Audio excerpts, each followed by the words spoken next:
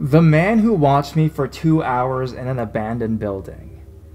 I'm a young girl in my late teens, and I grew up in a pretty small city, which gets even smaller when the Queen's students leave for the summertime. Ontario is home to Queen's University, which means that I'm not typically alone at night when I go out to my late night endeavors. However, once those students are gone for the summer, I tend to find myself in riskier situations with rougher looking people. It's almost as if when the students leave, the crazies come back. I'm a huge advocate of exploration, and I explore every single chance I get. This hobby of mine has gotten me in trouble more than a few times, and I'm honestly lucky to still remain unscathed by any insane person to this day. There are quite a few abandoned buildings in my city, which nearly anyone who is interested in horror and adventure would love to find their way inside of. I have an eye for details, and I'm only around 5'1 and 116 pounds, so that makes me the perfect candidate to escape into the small crevices and holes of an abandoned building. Not too long ago, I found a building I was scoping out for a while. I found my way in with little effort and understood the dangers of going alone. I'm a risk taker, but I'm not stupid, so of course I had someone with me. Now, let's just say I wasn't expecting this person to be as flaky and easily frightened as they were. So, most of the rooms I entered, I had to enter on my own, equipped with a flashlight and bag, in case I found anything super interesting. I explored the dark corners of the building. I didn't expect it to be so huge. I found a journal with writing in it that looked to be a foreign language, and even with my knowledge of different languages, I couldn't decipher what this person was going on about. I also saw multiple mathematical formulas with a type of math I had never seen before, surrounded by odd symbols and drawings. There was also a ton of zodiac signs and talking of the planets and their rotation, which was enough to put me off in itself due to the fact that my own zodiac sign was heavily underlined and rewritten multiple times. Of course, I didn't piece anything together here because it is extremely unlikely anyone would be in the building with me, but I started to feel even more on edge as the night crawled on. I made it a promise to myself to check every room because I didn't crawl into a dark hole for nothing. My friend had opted in staying near the entrance, and I obliged, simply because arguing would lead to noise, and noise led to alerting others of my presence. I continued looking amongst this dark, eerie building, which continued with a thick air that I almost felt I had to sift through, as if it were a thick, visible fog. I'd already seen a bed, clothing, books, stickers, anything you could think of but abandoned buildings commonly house these items. As I'm not unfamiliar with squatters staying, staying places for a few days and just moving on. However, in all my years of exploration, I never encountered someone who stayed inside a building or approached me in a building that I entered. I started to get deeper into the building. I went down the stairs and walked down a dark, wet hallway. I felt like I had been there for hours, and there couldn't be anything else I hadn't already explored as I got further away from not only my friend, but the exit as well. My basic senses started to heighten. I think it may have been due to this that I started to smell a putrid odor near me, one that I hadn't noticed upon initially entering. I was stuck in a hallway with little places to go, so I entered another room, hoping to escape the smell. However, the smell started to turn into footsteps, and I realized the room I was now standing in was barricaded in some way, with mattresses against the walls piled on top of one another, needles around my feet, and children's toys scattered carelessly. No red flags got off my head when I'm in an abandoned building until I stumble upon children's clothing or children's toys. That's where I always draw the line. I turned around and told myself it was time to leave, but I didn't feel like it was just me that was going to be leaving. I started walking back the way I came, finding my way through the mess and the clutter the disgusting odors and tapping of feet and plunking of water. I hated it there. I hated this building I explored, and I only had one exit as well. I knew if I made one wrong move, it could lead to something awful, so I did not turn around. At this point, either due to adrenaline or my senses heightening, which I believe to have been connected to my adrenaline kicking in, I could literally feel someone behind me. I heard, smelled, and felt the presence of someone walking no more than six feet behind me at this point. I picked up my pace, but in a way that wouldn't be too obvious, and when I reached the exit, I cannot explain the euphoria I felt. It was such a relief to see my friend and tell her to get the hell out of here. As soon as I started making my way to the hole to exit, I felt a strong grip on my right leg, and my heart literally stopped. Whoever was in this building had clearly been following me and watching me the entire time, but they didn't bother touching me until the second I tried to leave. I didn't even look back. I just started kicking my leg and screaming. At this point, I didn't care about people hearing me. My friend quickly caught on and started screaming too, then reached for both of my hands. Whoever had been gripping my leg had gripped me so hard, when I finally broke loose, there were red indents on my calf. We went home and literally did not speak another word about it. Actually, I tried to change the subject in my shivery voice because I was so scared. Whoever this person was would have been following us home as well. Long story, kind of shortened. We weren't followed anymore, and my friend proposed that it may have been someone else exploring or a teenager up to no good that wanted to scare me by following me and grabbing me, so I would assume I was in danger. Personally, I don't believe that. No normal person smells that horrible or has that much time to follow around a girl through an abandoned building that, to my initial inspection, had been abandoned for nearly three years. I assume it was safe since there was no sign of anyone for so long. The next morning, there were purple bruises on my leg. I didn't go to the police because it's not a great impression to be entering abandoned buildings in the first place. I don't really know what to make of this experience, but I am so happy I am alive, and whoever that was didn't grab me sooner. Always, always, always bring somebody with you when you explore buildings. If it wasn't for my friend grabbing me, I don't know if I would have been able to kick my way out of there. So, creepy, silent, child grabbing abandoned building stalker, let's not meet again.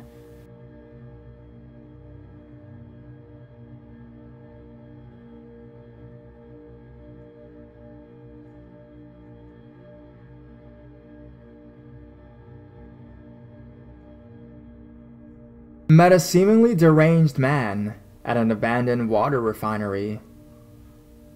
I've been reading this subreddit for a while now, and figured I might as well contribute my own story. Preemptive apology for the over artsy shots, but these weren't meant to be documentations.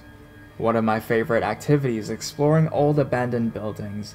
I've seen quite a few strange things during my trips, but one experience still creeps me out to this day.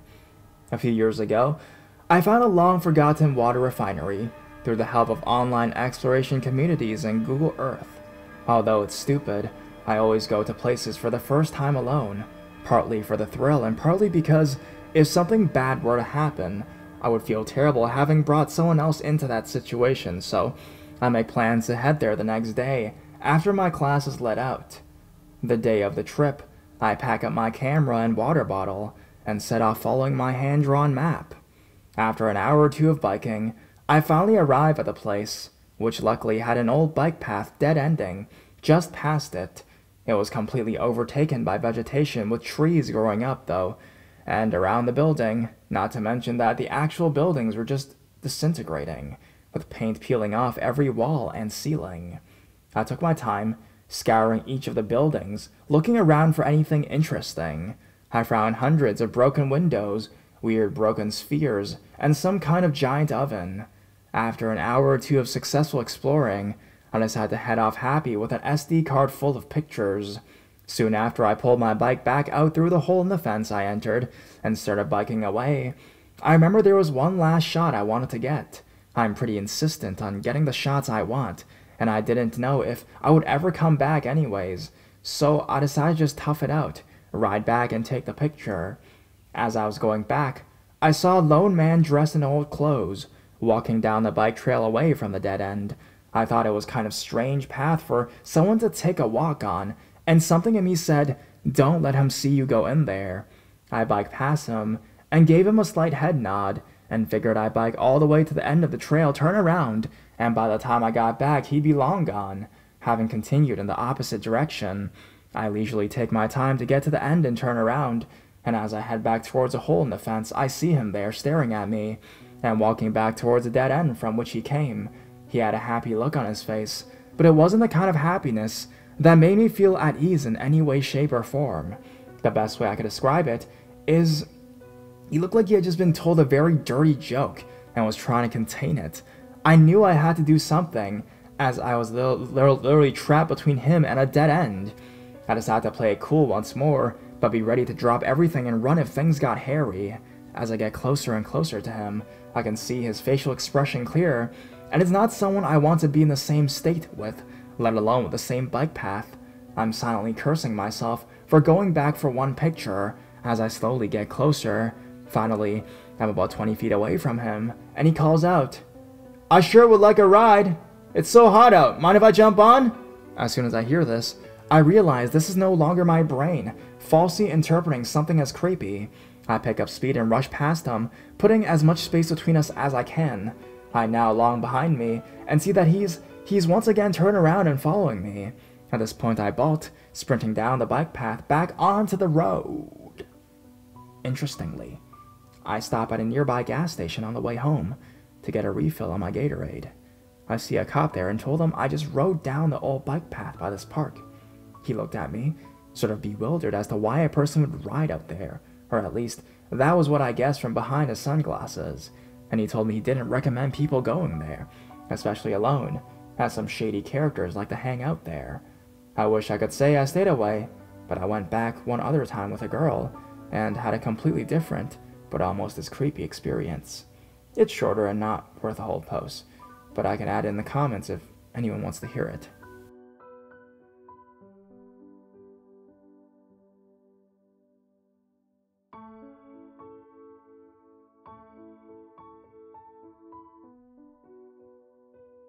Man emerges from dumpster to chase. This happened about 10 years ago when I was around 16 years old. My parents didn't really care what I did or who I was with. My home life had very little structure. I had five other sisters, so maybe my folks had just given up at that point. Anyways, my then boyfriend, Ian, and I decided to go for a merry stroll at 3 a.m around my considerably dangerous neighborhood. I was a serious mouth-breathing doofus. There was a particular spot that we really enjoyed visiting often, a little railroad bridge that had a semi-convert way to get to a moderately sized island beneath it, and a raging river surrounding that island. We just jumped down onto a small, semicircle slab of concrete from the tracks, and then there was a 10 or so foot drop down to the island. Usually there was a pallet or some other makeshift ladder to ease your way down when the river wasn't exceedingly risen. It was probably about a 40 or 50 foot drop all the way down to the river from the bridge that one stood on. We nicknamed the island Jackson's Island from the book, The Adventures of Tom Sawyer. So, we set ourselves out to go on this adventure that's about a 15 minute walk from my house. The neighborhood surrounding Jackson's Island did not contain any houses at all. It was just factories and abandoned buildings, and was very industrialized. Once we were about five minutes walking distance to the island and on the railroad tracks that led to the bridge, we heard a rustling sound that was coming from a large commercial-sized dumpster that we had recently passed by. It neither bothered nor alarmed either of us, and we credited it to some sort of nocturnal, hungry creature that was scavenging through the garbage for some tasty things to chomp on. We gave it no second thought. We continued walking and walked until we crossed the streets to get to the railroad bridge. For some reason that I cannot remember, be it some sort of divine intervention or just paranoia, I turned around after we crossed the street. That was when I saw, in the distance, someone climbing out of the dumpster. This was obviously unsettling, and I frantically but quietly pointed it out to Ian. We discussed what we should do. Ian had two ideas. One, we could either cross the railroad bridge or two, flee to Butterworth Street. Now, crossing the bridge was difficult at times for me. There were small gaps in the wooden boards, and when I walked across them, it took me a lengthy amount of time because I always, I, I always had the irrational fear that I was going to fall through into the raging river beneath me.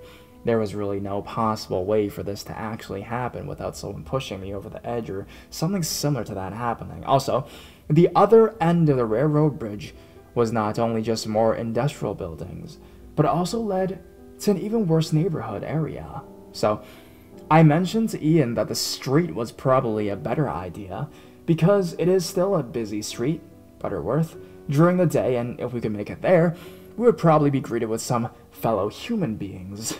We agreed this was the best action to take. We began briskly walking the five or so blocks to Butterworth Street. The man was still far behind us, but we didn't concretely believe that he had any real ill intentions. Maybe it was just a coincidence that he emerged out of a dumpster and was walking behind us in the middle of the fucking nowhere at 3 in the morning. Perhaps the man only desired to braid each other's hairs with us and exchange high fives. We were naive as fuck. The next time we turned around, maybe five minutes, he was full on speed charging right at us. He was very close behind us. As I previously said, it was only about a five minute walk from the dumpster area to the beginning of the railroad bridge, and I could see what he looked like now. He was a white man with light blonde hair, average build, was probably in his mid 20s, and all I can remember of what he was wearing was red sweatpants. We began booking it to Butterworth Street, and he was just right behind us, chasing us and alternating between muttering incoherent, angry things to himself and squealing like the creepiest of pigs. Somehow we made it to the streets with all of our limbs and organs, and we were still breathing. When I turned around to see where he was, he grinned wildly at me while staring directly into my eyes. He was within an arm's reach of us now. Suddenly, he lunged at me with his arms out like he was trying to catch me, but somehow I jumped out of his way, and Ian and I dodged the car and crossed the street for some reason. He left us alone once we were on the other side of the street and just muttered angrily and loudly about how he would let us get away like that. I do not know what his intentions were, but I'm so glad that I never that I never discovered them.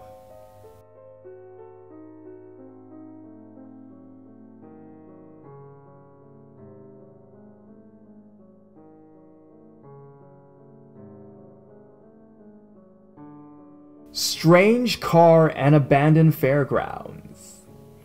This happened to me when I was in middle school, around age 12. My parents were really involved with helping the local area's homeless and every Thursday night at church, they would get together with a bunch of people and make bag lunches to hand out around town. That meant, every Tuesday, my dad had an agreement with the owner of the local area food bank to go in and get some boxes of food to put into the lunches. I like to go with him on Tuesday nights because I sometimes got treats or toys or whatever else was there. For a bit of atmosphere to the story, this food bank was in the creepiest possible place in town, it was by some abandoned railroad tracks, a huge warehouse, but not much else around it, except the abandoned fairgrounds across the streets. At night time, it had an extremely creepy vibe, so, especially in the winter time, I sometimes dreaded going because it got dark so early. One night, my dad was looking through the food bank as usual, and we were getting ready to leave. I held the front door open for him so that he could carry all the stuff out and then he was going to lock the door behind him. Well, as soon as I opened the front door, this car came screeching up out of nowhere. It looked like a cop car, sort of. A round sedan. Something like that. Its headlights were off. This car pulls up literally just a few feet in front of me, and my stomach automatically drops. My dad grabs me by the shirt and quite literally throws me back inside, telling me to turn the lights off and lock the door behind me, but I could not. I opened the door a crack, because I was certain that my dad was about to be killed. Three very large men got out of the car and stood directly in front of my dad, just staring at him. At that point, I opened the door further until I knew they could see me. I could not fathom just watching as something terrible happened. These men regarded me, looked at each other, and got back into the car. They drove away very slowly, and my dad and I hightailed it out of there. I completely believe that if I hadn't been there that night, my dad would have been robbed, hurt, or killed. Possibly all three.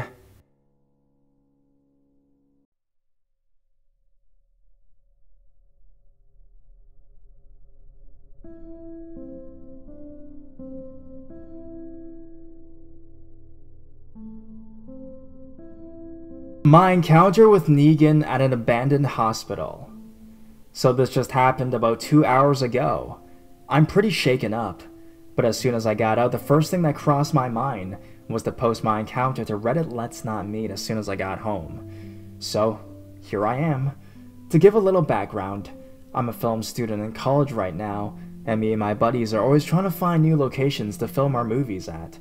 I make horror films, so all the places I'm looking for and exploring are abandoned. And tonight, me and my group of friends, there were 10 of us total, decided to check out this abandoned hospital down the street from our school. They had been there before and said it was a great spot for filming, and I should check it out. Tonight was that night. So, When we get there, I have my Nikon DSLR out with a handheld LED light attached to the top of the camera to scout the place when we get inside. I didn't film any of the encounter because I usually only film the inside of these places, but I had my camera and light out to shine the way through. I was leading the way down this narrow path that led to these walls that we had to climb to get onto the roof of the place, when we would access one of the rooms to get inside of the building. Because I was carrying my camera and bag, I was trying to look for another way up. So I walk a little further down this narrow path, and I start noticing a lot of clothes and random shoes and cardboard boxes lying around the area. There was even an empty sleeping bag. That's when I knew we were probably not alone, and were likely going to run into someone if we made the wrong move, and boy did we ever. One of my friends, walking behind me down this path, notices a door to my right. It's closed, and my guess was that it was locked and not worth trying. But he already had his hand on the door handle and starts tugging. I look over and it barely cracks open, but something is holding it from the inside. I shine my LED on the inside, and I see a shirt tied to the inside door handle to another part of the room, acting as a lock. But my friend, being the way he is, tugs again and rips that shirt right off, and the door swings open. Inside, there is someone sleeping on like a table or a couch alongside with a group of terrifying looking people sitting by a light inside that room, and they all stop and stare at us. In the short glimpse that I got, my friend yells, Oh shit, get the fuck out of here! slams the door and just bolts past me. I was standing there a little shaken, almost feeling like I should apologize, but I just followed him instead. My other eight friends are already on the roof at this point, ask what's going on, and we just ran for our lives out of the area. I hear the door in the path swing open, but I couldn't look back. From there, me and my friend rendezvous back to a higher part of the area, away from any entrance leading to the hospital. There's a small gap that you could jump across to get to one of the roofs of the building that my other friends were on. About four of them follow us and jump across, ready to get out of there but the others stay on the roof and watch us, stuck like statues. I look at them, confused, as what they're staring at, and I begin to hear this metal dragging on the concrete. I turn around, and then there is a crazy looking man, maybe mid 20s, dragging a baseball bat with nails all along the end, walking towards us as he drags the bat along the concretes. Acting like Negan from The Walking Dead, my heart sinks. At this point, I turn off my lights, and that's shining in the moonlight. I keep my hand on my pocket knife, desperately trying to think of anything to do if he starts swinging, but I knew there was no way I would come out alive if I tried anything. Plus, I gotta take care of my camera. So he walks closer to us, and the first thing he says is, You're gonna wanna keep that light off, and everyone is silent. I am practically shaking at this point.